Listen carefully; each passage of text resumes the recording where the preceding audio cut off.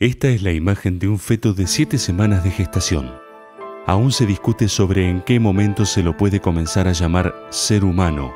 aunque es una discusión sin sentido, ya que es un ser humano en formación desde el comienzo, y hasta un niño de solamente 5 años, viendo esta imagen, preguntó de quién era el bebé. Y lo que no tiene lugar a discusión es que tiene vida desde el momento mismo de la concepción. Últimamente hemos visto cómo se reproduce entre algunas mujeres, valga la ironía, la costumbre de utilizar un pañuelo verde para representar una supuesta lucha por los derechos de la mujer, pero nada más lejos de la realidad. El verde que antes fuera el símbolo de la esperanza, ahora es el sinónimo de un multimillonario negocio con la muerte. El tema es relativamente simple y lo vamos a explicar fácilmente desde arriba hacia abajo. Todo comienza con la IPPF, la sigla en inglés para la International Planned Parenthood Federation, que en español sería algo así como Federación Internacional de Paternidad Planificada. Dejando de lado la publicidad que esta organización realiza, intentando mostrar que brinda apoyo y contención a la mujer en el mundo, lo cierto es que esta federación está financiada por varios gobiernos y otras fundaciones y organizaciones gubernamentales que buscan, por un lado, controlar la natalidad en los países tercermundistas y, por otro, llenar sus bolsillos con más dólares la Open Society de George Soros, la Fundación Ford, la Fundación Rockefeller, la Fundación Gates, la ONU a través del Fondo de Población de las Naciones Unidas y la Organización Mundial de la Salud, entre otras, financian y apoyan las políticas de control de natalidad en el mundo. Según el balance publicado por la propia IPPF, en 2017 recibieron 84 millones de dólares provenientes de distintos gobiernos, entre ellos Estados Unidos, Reino Unido, Suecia, Noruega, Dinamarca, Holanda y Australia, más otros 19 millones aportados por las fundaciones y organizaciones mencionadas. Con este dinero, la IPPF financia a su vez a distintas organizaciones sociopolíticas en países en vías de desarrollo o subdesarrollados para que repliquen de igual manera en todo el mundo los mecanismos de propagación de su mensaje. ¿Cuál es este mensaje? El aborto disfrazado con un montón de datos y referencias acerca de los supuestos derechos de la mujer, la libre elección, los métodos anticonceptivos, etc. Detrás de ese discurso vacío y adornado está el verdadero objetivo, el aborto y el negocio multimillonario que representa.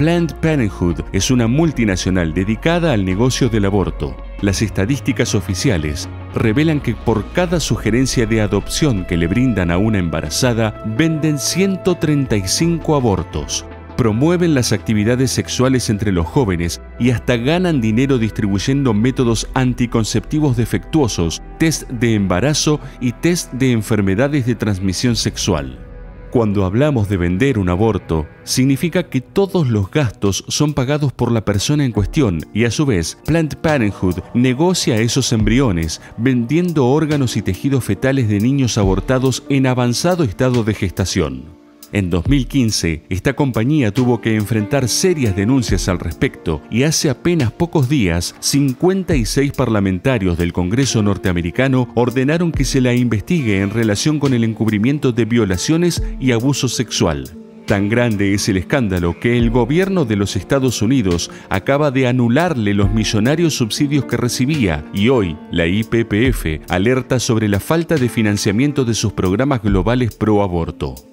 Si todavía te estás preguntando qué tienen que ver las militantes del pañuelo verde en Argentina con todo esto, te lo explicamos enseguida. Planned Parenthood es un negocio como ya lo dijimos, un negocio que involucra miles de millones de dólares en todo el mundo. Para sostenerlo, financian y promueven los movimientos pro-abortistas en decenas de países, impulsando movilizaciones que buscan la legalización del aborto en esas naciones, incluida Argentina, para poder sentar sus bases y continuar con el negocio. En los países donde ya está presente, Planned Parenthood ubica sus sedes en un radio de no más de 10 kilómetros de distancia de las universidades porque allí está la principal base de sus clientes. De hecho, la misma empresa se encarga de proveer métodos anticonceptivos defectuosos y peligrosos para la salud, por ejemplo, profilácticos con fallas y anticonceptivos orales que están catalogados como cancerígenos clase 1, al mismo nivel que los cigarrillos y el asbesto. Para lograr su objetivo y perdurar en el millonario negocio del aborto, Planned Parenthood financia a organizaciones políticas y sociales locales que trabajan buscando instalar en la sociedad las premisas y los mensajes diseñados por la compañía. Envuelven todo en el delicado manto de los derechos humanos, usufructuando la histórica lucha de la mujer por sus derechos e igualdad para su oscuro beneficio. Todo esto queda perfectamente revelado cuando vemos los reportes financieros anuales de la IPPF y cuando leemos los artículos del más que desprolijo proyecto de ley de aborto en Argentina. Por ejemplo, el artículo primero de ese proyecto menciona los supuestos derechos de toda mujer u otra identidad con capacidad de gestar, enredando aún más la cuestión e involucrando otro asunto perverso que dejaremos para otro momento, la identidad de género. Por ahora, solo nos remitiremos al hecho de que la biología es innegable y que el único integrante de la raza humana capaz de gestar una nueva vida es la mujer, más allá de cómo ésta elija llamarse.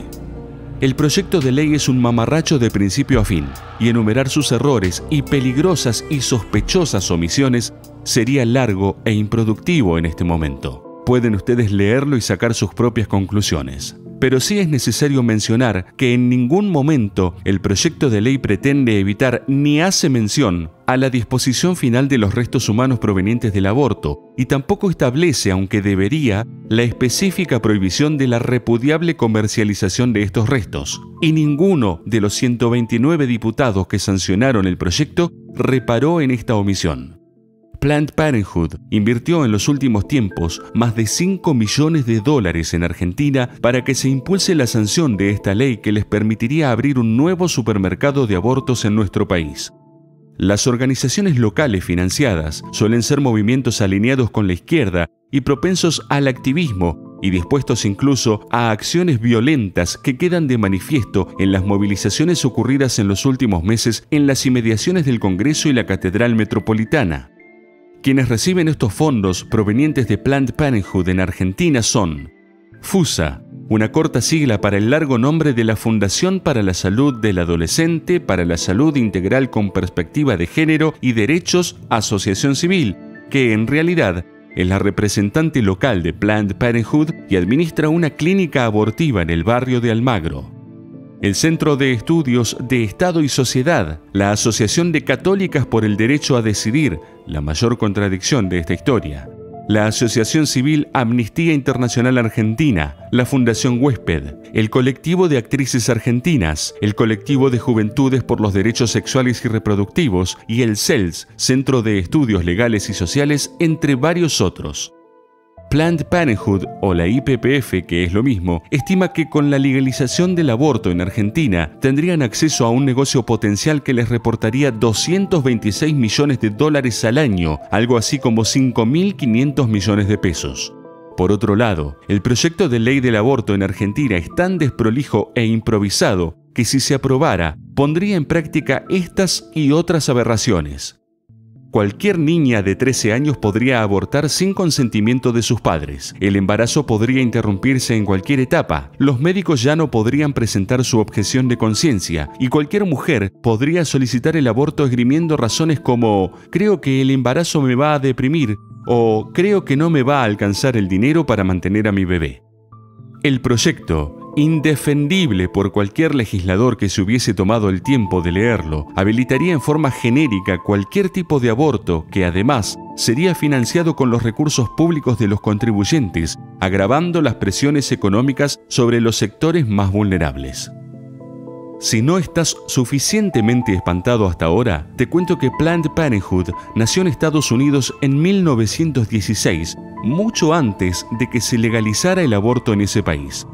Su fundadora, Margaret Sanger, decía que el control de la natalidad y la esterilización debían ser voluntarios y no estar basados en la raza, pero rápidamente encontró una causa común con los defensores de la eugenesia que buscaban ayudar a la raza a la eliminación de los no aptos. Incluso su nombre original fue American Birth Control League o Liga Americana de Control de la Natalidad. En Estados Unidos, el aborto se legalizó recién en 1973, después de un controvertido fallo de la Corte en el caso Roy vs. Wade, que sentó precedente y sirvió para cambiar el eje de la argumentación, aun cuando luego se descubrió que la violación denunciada por la víctima para plantear el caso fue falsa. En resumen, algunos megamillonarios del mundo aportan su dinero a Planned Parenthood para controlar la natalidad de los países tercermundistas y evitar la proliferación de latinos o africanos que podrían poner en riesgo su exclusivo modo de vida. Por otro lado, otros megamillonarios se enriquecen de la manera más perversa, sádica y oscura jamás imaginada, comerciando con restos de seres humanos no nacidos y lucrando con la vida y la salud física y emocional de millones de mujeres en todo el mundo. Este es el verdadero mundo que se mueve en torno al aborto, una práctica que, aunque fuera legal y gratuita, jamás será segura porque implica asesinar a un ser dentro del cuerpo de otro ser. Esto es en realidad lo que se esconde detrás de la legalización del aborto por un lado, un negocio multimillonario que incluye el tráfico de órganos y tejidos humanos. Por otro, un escabroso plan para intentar controlar la natalidad en los países subdesarrollados que representan un peligro para el status quo de los magnates mundiales. Así que cuando veas un pañuelo o un corazoncito verde, ya sabes que lo que estás viendo no es la lucha por un supuesto derecho ni por la libertad de elección o de decisión sobre un individuo y mucho menos por la vida, sino el emblema de un negociado multimillonario y un plan siniestro avalado por aquellos que obran desde el más bajo y oscuro de los egoísmos.